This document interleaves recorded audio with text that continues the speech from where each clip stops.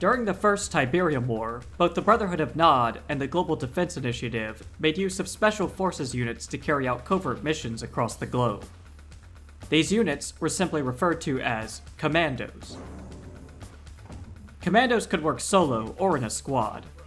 Most were known for using a Raptor 50 caliber assault rifle with suppressor to quickly take out infantry. And they always made sure to carry enough C4 explosives to demolish buildings. I've got a present for you. Some commandos would even wear red berets. Though easily seen, these commandos were confident in their abilities to take on anything the enemy threw at them. That was left-handed. A couple of missions involving these special forces included a single GDI commando that destroyed two SAM sites in order to utilize a helicopter to fly over patrolling Nod forces. This allowed him to infiltrate the nearby Nod base and destroy its airfield. Keep 'em coming! In an attempt to delay research on the ion cannon project, the Brotherhood used a commando, backed up by additional forces, to assassinate Dr. Wong Hu Chan in Angola. At some point during the war, GDI decided to put together a special team of these elite units. Doing so meant faking the deaths of each member, as GDI wanted these operatives for beyond covert operations that would hardly benefit from public exposure. One, quote, died in a raid on a terrorist bomb making lab in southern Chile. Another fell during a bloody conflict while gathering intel on rival Nigerian warlords. Another was assassinated by thugs in the Balkans. Another died in Turkey, another in Australia, and another in Jordan. This team was the Dead Six.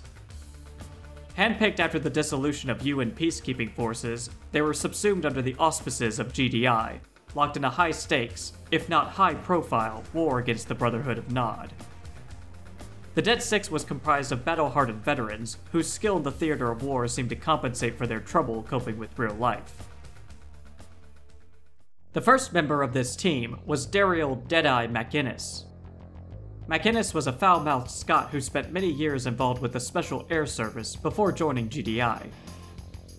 He was a top marksman, with a nearly flawless strike record from 200 meters and beyond. His weapon of choice was the Pierce sniper rifle, which had a variable zoom scope and was capable of firing armor piercing rounds. The rifle was also equipped with a directional microphone, which could pick up conversations at long ranges. Like all commandos, Deadeye carried C4 charges and the standard issued Falcon silenced pistol as a backup weapon. The second member was Nigel Gunner Grant. Nigel was born in London and spent his formative years toughing it out on the streets and pubs of the city's south side. He joined up with the UK's Special Boat Service, the equivalent of the American Navy SEALs. His time in the SBS led him to join GDI and become part of the Dead Six. Armed with an R 12 Locust automatic rocket launcher, Gunner fulfilled the team's primary anti tank role. His weapon could be used against both ground and air vehicles, firing six rockets before needing to reload. The third member was Shai Aviv, also known as Hotwire due to her expertise with electronics hardware and vehicles. Hotwire was known as a tough as nails commando and woman of few words. She grew up in Jerusalem and served with distinction in the Mossad, before joining GDI and the Dead Six. Hotwire supported the team as their engineer, her primary weapon, or tool, was the Gizmo repair gun. This gun would fire a blue beam of energy at a friendly vehicle or building, repairing any damage that said vehicle or structure had sustained. The gun could also be used to heal allied soldiers and disarm enemy explosives. Hotwire brought a variety of C4 explosives with her on the battlefield. This included the time charges that other commandos used, and the hair trigger charges, which were remotely detonated. She even carried a third type called the Feather C4 proximity mine. This explosive device would automatically arm when placed on the ground, and detonate whenever an enemy unit got too close to it. Other than her explosives, Hotwire relied on her Falcon pistol. The fourth member was Eric Patch Wolf. Born in Berlin, Eric Wolf found himself streetwise at an early age, he joined the German paramilitary counter-terrorist organization known as the GSG9. His reputation within the organization caught the attention of GDI, where he became part of the Dead Six as the team's grenadier. His primary weapon of choice was the Kestrel automatic grenade launcher, which launched its shells in an arc from an 8 round detachable box magazine. Wolf was also known to use a Tiberium based weapon called the Talon Tiberium Flèche gun. This submachine gun would rapidly launch Tiberium shards at high velocity, quickly killing enemy infantry.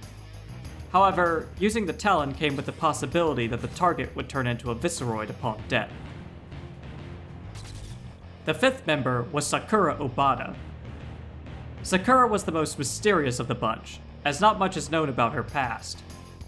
Hailing from Japan, it is rumored that Sakura was formerly a part of the Yakuza.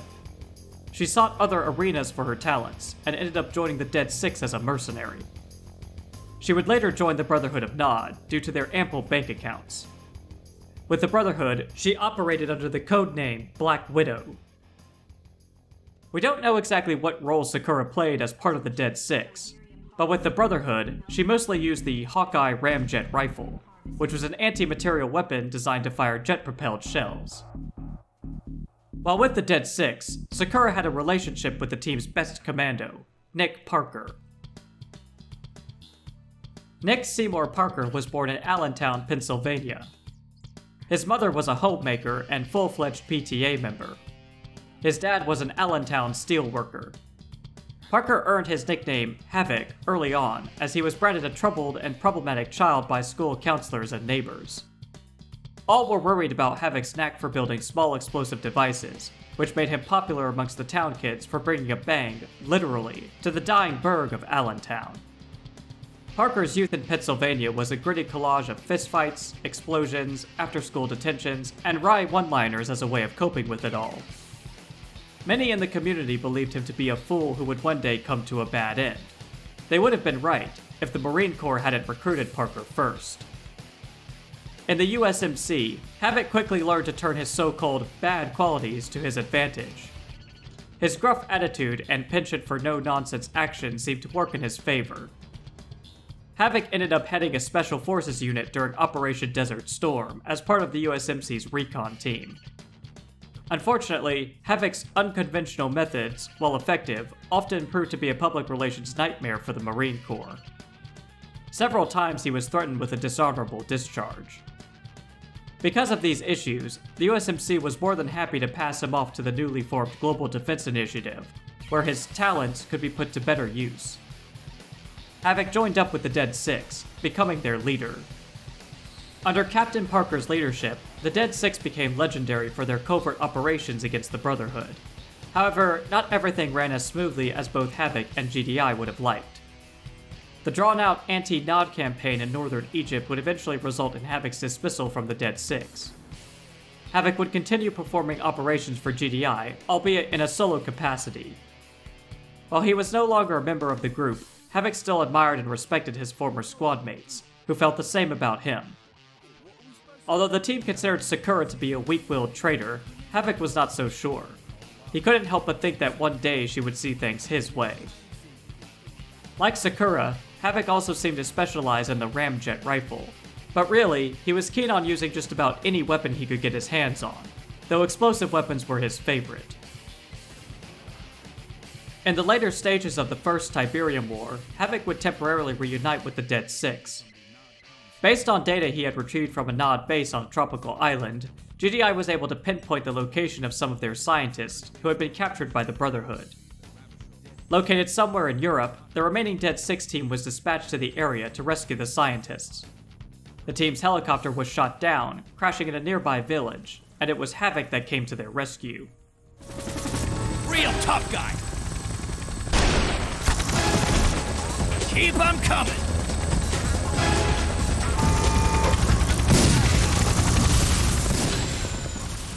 Havoc's own helicopter was also shot down over the village, though this did not deter him from rescuing his former teammates.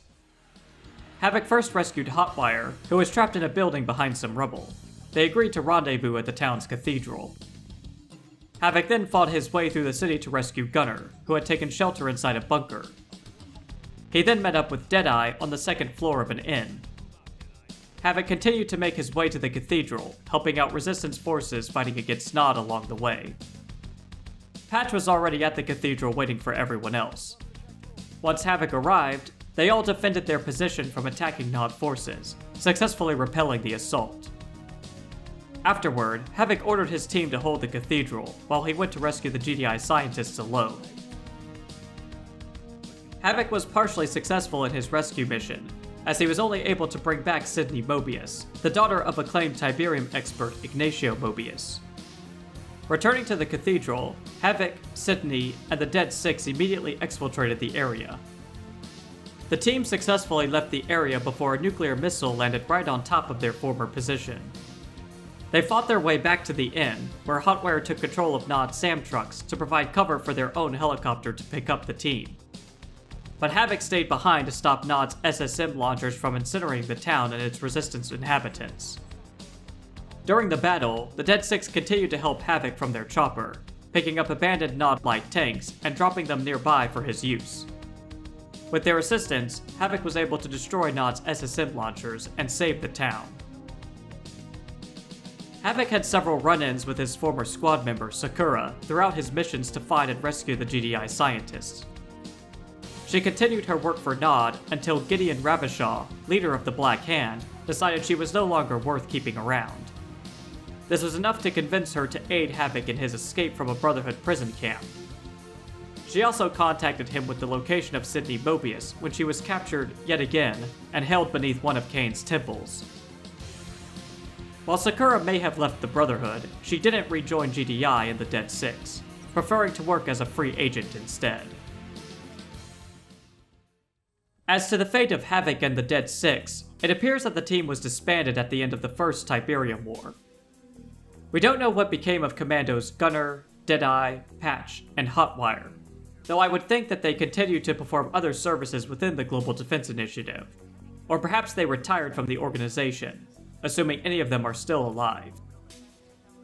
As for Captain Parker, he would be promoted to the rank of Colonel after the First Tiberium War, in the interim years between the Second and Third Wars, Parker was a big supporter of General Joshua Mitch Mitchell and his Steel Talons Experimental Combat Technology Division. As part of GDI's military funding cuts, the Mammoth Mark II Walker was decommissioned, with the last of these walkers being completed at the San Pedro War Factory in 2039. Many were angry about its discontinuation, including Havoc who at this time was not only a retired war hero, but a popular conservative pundit and proponent of the Kane lives theory. To quote from the intelligence database, the Mark II was and continues to be one of our most powerful tools in the war against Nod fanaticism. This discontinuation is nothing but another disgusting example of GDI bureaucratic penny pinching and namby-pamby can't we all just get along liberalism. Once again, GDI is playing right into Kane's hands. Being a war hero, a couple of statues were built in Havoc's honor. One was located close to the Pentagon in Arlington, Virginia, and the other was located near Dr. Giroux's research lab in Chile. While the Dead Six may no longer be around, their accomplishments, many of which may never be fully known, proved integral in helping the Global Defense Initiative defeat the Brotherhood of Nod during the First Tiberium War.